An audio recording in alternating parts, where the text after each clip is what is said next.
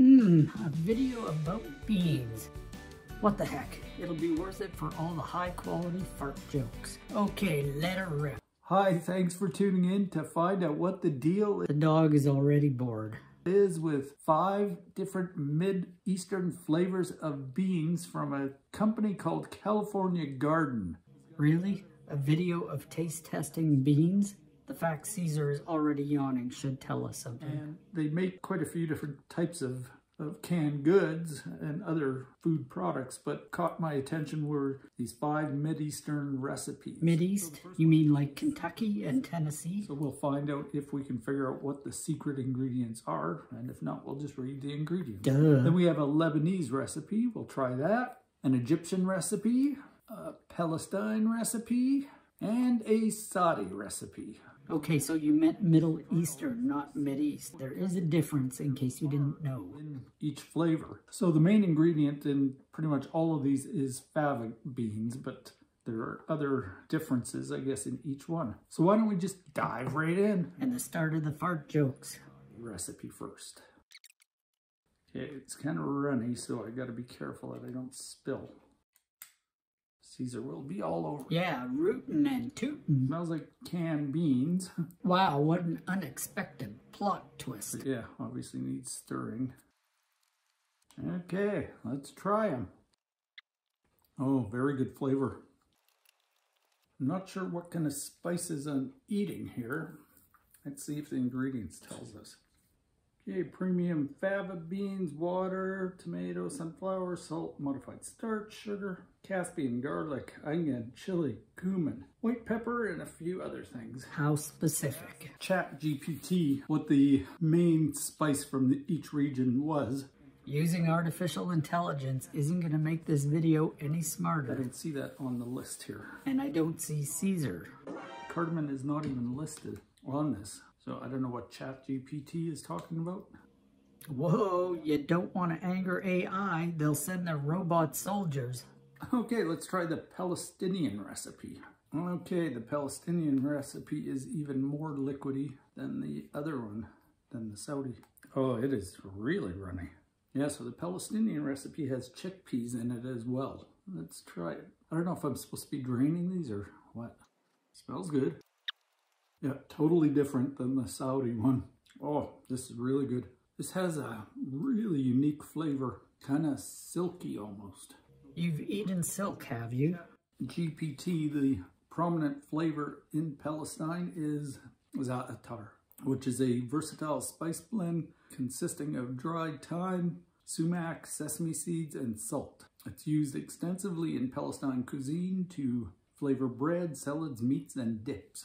It is really delicious. Let's just see what the ingredients actually are in this.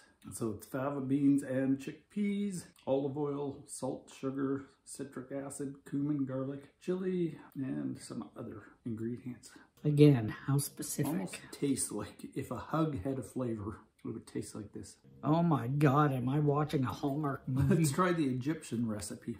Oh wow, all of them are so different. This one is almost like, looks like it has the consistency of refried beans.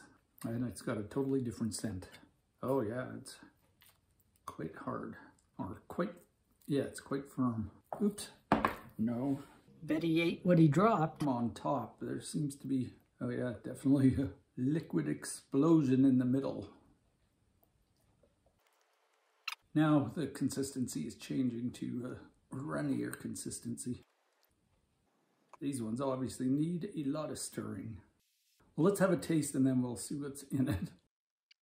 This one tastes like something familiar to me. I am loving these beans. I wasn't sure if I would, but so far I'm loving this whole. Is this video sponsored? Okay, let's see what is in this one.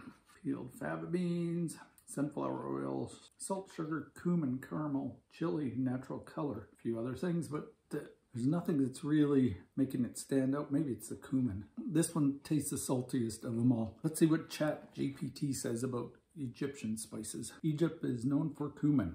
Cumin is a widely used spice in Egyptian cuisine, adding earthy and nutty flavors to dishes such as falafel and various stews and soups.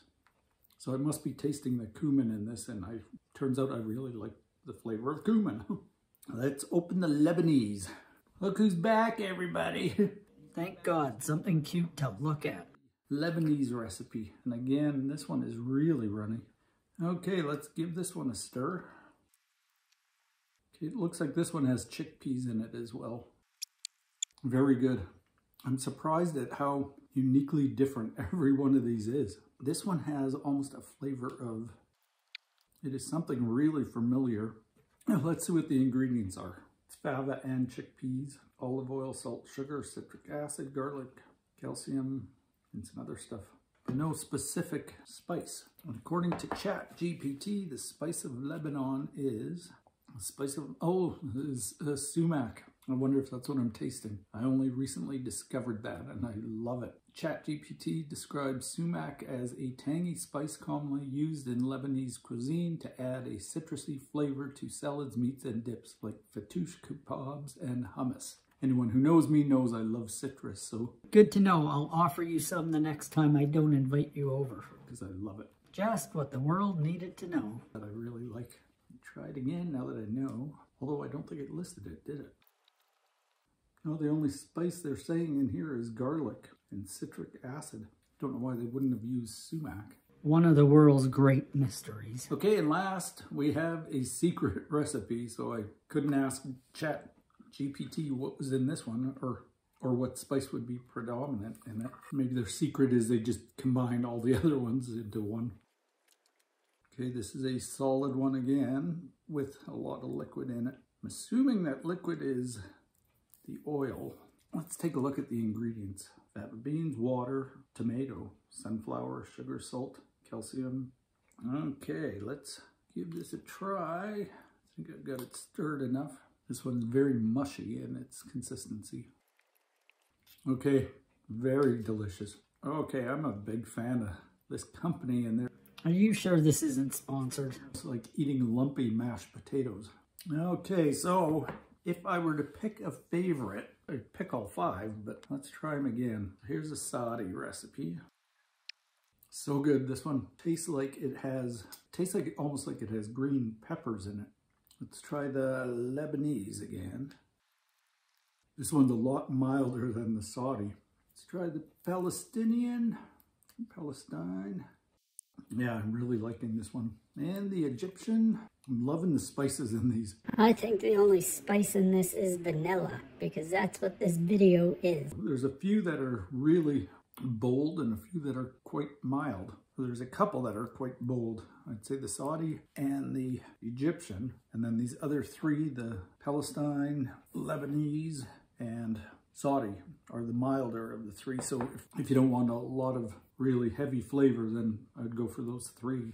If you want something that's going to kick it up a notch, I'd go for the Saudi or the Egyptian. But oh my God, I'm feeling very full. Full of what? Eating the equivalent of, of an entire can already. Okay, so we know what that's gonna do. I've, this is going to end up on my grocery list from now on. By the way, I got these at a at a specialty market, but I also saw them at Freshco, which is a sort of discount grocer in Western Canada. And I think in Eastern Canada now too. They're kind of mainstream, so the bigger supermarkets with a big international section may have these. If you can find them, I would try them. I paid $1.99 a can for these, so What about well Amazon? worth it for the Holy ripoff for Canada. Kudos to California Garden. And that is the deal with Mideastern recipe fava beans. Bye.